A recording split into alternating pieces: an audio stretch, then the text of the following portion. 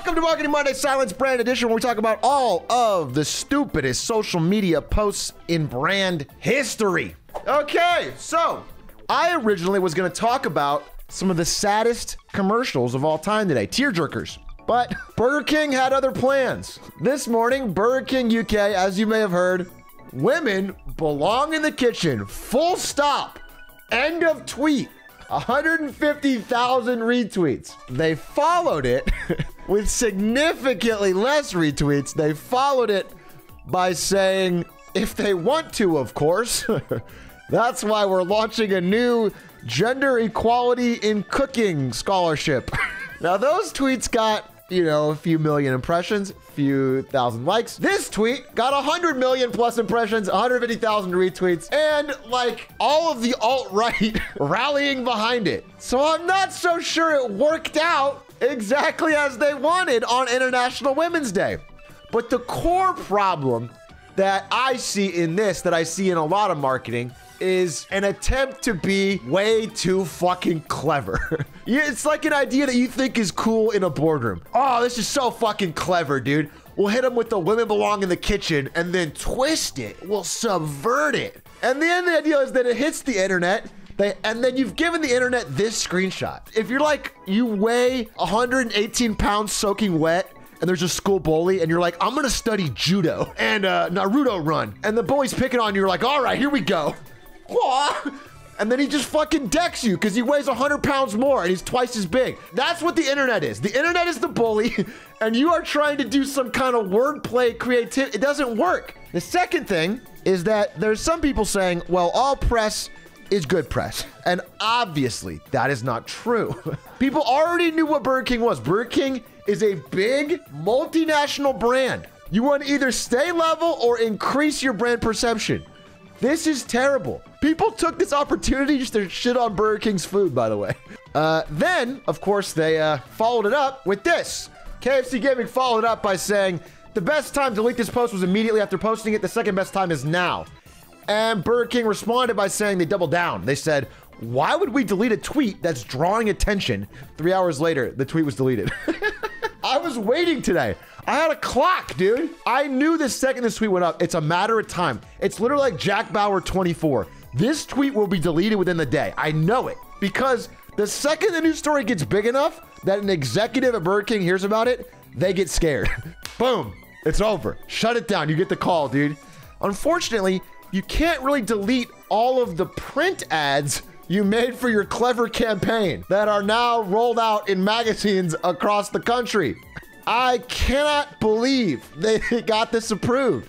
I, it's just this is the worst part of it though. Is like once something's out on social, it's like property of the public. So you really have to you have to err sometimes on being a little duller because if you get too risque or flamboyant, the first reaction is often the permanent reaction. All right, so uh, this is again comes from I think a deep lack of understanding of how social works, how sort of the group think of it works, and how the immediate nature of it works. So now I'm gonna go in. I think we covered Burger King's tweet. I mean, I, I, I don't know what to tell you.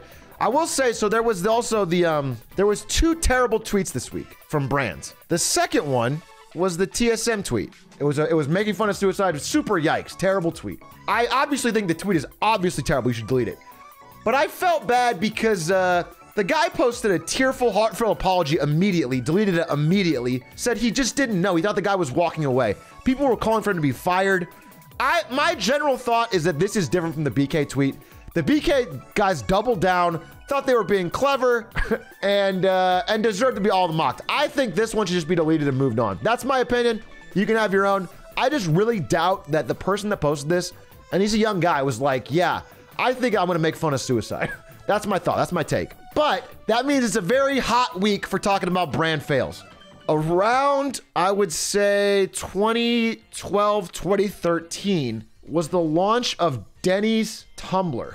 Denny's Tumblr was just basically an offshoot project um, by one woman who worked at Denny's and wasn't being monitored that closely. Once people saw that was successful, all hell broke loose. but that began an era of brand social. But as the years have gone on and we've all gotten a little more used to social and every brand has tried to do it, we've gotten a little more jaded. We've gotten a little bit more like, wow, this is super cringe and you're just trying to sell me stuff. And so I'm going to go through a lot of the ways that I see brands fuck up on social. Because again, mostly with social, it's an act to try and not fuck up. So here's what you want to do to not fuck up. Step one is they don't know what the hashtag is before they post. So here's an example of DiGiorno's Pizza using the why I stayed, which is about domestic abuse, saying you had pizza. Who's not guilty about eating all the tasty treats they want? Casey Anthony was not guilty. That's what was trending when you use this. These are examples of, of social media managers not taking a look at what the hashtag is for. Sometimes they know what it's about and they don't care. like in the example here, Kenneth Cole here, fashion brand, did know what hashtag Cairo was about. I think the Arab Spring riots. Rumor is they heard our new spring collection is now available online.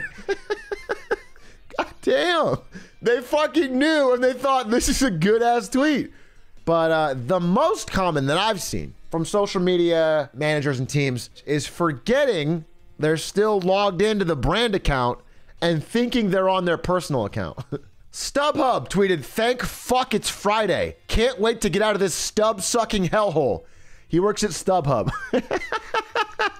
so, again, before you tweet something really uh, political, controversial, just make sure whose account you're on. It's really easy. This has happened to me at Twitch. So, I was on my phone and it's really hard to tell unless you check the little tiny icon if I'm on the Atrioc account or I'm on the Twitch account. Thankfully, this is what a fucking virgin I was. I was so obsessed with Twitch and watching esports that my real account and the Twitch account were almost indistinguishable. So I would tweet like, "Oh, melee tournament about to go live," and that's like basically what we would tweet on Twitch. there was no difference. That's it's the sad thing is I forgot what I was on and it didn't matter most brand fails because those, those are the most common ones that I've seen.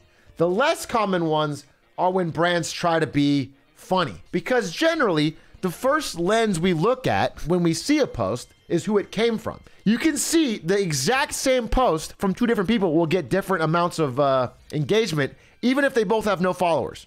An example tweet here that would be funny or relatable from maybe like basic white girl account, but not funny from Chase Bank, a multi billion dollar bank, is this one. Why is my balance so low? Bank account, make coffee at home. Bank account, eat food you already have in the fridge. Bank account, you don't need a cab, it's only three blocks. I guess we'll never know. I mean, it's not a great tweet, but the idea is like, okay, that would be fine if it wasn't from Chase fucking Bank, a bank that basically milks people with uh, absurdly disguised fees. Obviously, from Chase Bank, this shit isn't fun. Okay, you just can't you can't break that. Doesn't matter how funny it is. They have to know it. It's got to be funny coming from you. An all time classic of bad brand Twitter is holidays. Most specifically, as a marketer that loves seeing terrible brand tweets, I look forward to seeing the one or two brands every year that think they can make a 9 11 post work because it never seems to dry up. We have Build a Bear fucking workshop putting a bear in camo and tweeting, We will never forget. CVS Pharmacy, you know, tried to keep it as basic as possible, but they thought we gotta add the CVS logo here. Hold! Don't post that! Wait, just quickly make sure we add the logo to that image. We don't want people ripping that off from us. Uh, I guess my one piece of advice to social media managers out there would be you don't need a 9 11 post ever. It's super simple. This one, I, I need a I need a better it's a tough one to explain. You know, it was just 2013, so it's early days of social. So here's what happened. Originally, a pastor came into an Applebee's, and instead of tipping his waitress after a meal, he had a pretty large group. He wrote, "I only tip God 10%. Why would I tip you 15?" Now that waitress, understandably, was a little bit pissed. She took a picture of it and tweeted it. And people, they started roasting this guy. And then in response, Applebee's fired the server.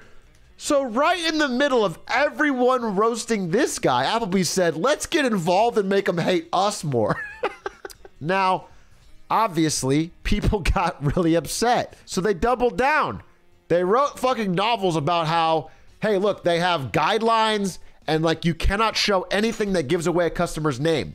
Except the internet, undefeated, found like a post from a few days ago where you posted a nice message with a customer's name. awesome job, Mike Henning. So, the lesson sort of from this one everything you've ever done, the internet will find. There are no secrets. So, don't lie. uh, this is one that I've uh, noticed happen again and again. Never, ever, ever do anything at all that involves AI or fan submissions. Ever. because you get this. I had to censor these because they're fucking disgusting. But an example is that these are AI, I'm sorry, fan submitted Adidas jerseys that say terrible things about the Holocaust, racist shit, and these are all coming from Adidas's account. So literally, it's the it's the fucking Adidas account tweeting user generated fucking things over and over. Terrible. So what you want to do is not do auto generated AI shit. It never works. Never. We've talked about examples before. Just don't do it. It never works. Now, the final thing I want to talk about in my presentation was about the recent trend has been to be really, really personified, to try and seem like you're as relatable, you know, just what up, fellow kids. The prime example of that is Sunny D tweeting, I can't do this anymore. to sell fucking orange sugar water, dude. this to me, one of the worst brand tweets of all time. This was this did take place at the end of a Super Bowl live tweet, but the way they responded did not lean into that. Pop Tart said, Hey, Sunny, can I please offer you a hug? We're to get through this together, my friend. By the way, one thing I fucking hate about any brand tweet that gets replies or responses or retweets is that every other brand goes, oh, fuck, this is our shot. But Sunny D did themselves no favors with the Super Bowl story by responding to Moon Pie. What's going on, Sunny? Mood last night. All good, MP. Thanks for checking in. I love you. Fuck off! You're not real people! I hate to be that guy. However, these Twitter accounts have no other purpose than to sell us products. They're using depression to sell you a product, which is, to put it lightly, pretty irresponsible. This guy's nicer than I was because at the time I said brands feigning suicidal thoughts to more relatably sell sugary and unhealthy products is pretty dystopian. but I, that guy was a little more uh, nice than I was. So if you're a brand, you need to recognize that we're all aware that you're an employee this is all a scheme to make money. the end of the day, you only exist to sell more of a product. And we understand that. And the more clearly you understand that, I think the better your social can be. People are not opposed to brands on principle. If you are aware and honest that you're trying to sell something, people are generally either ignore it or they're receptive.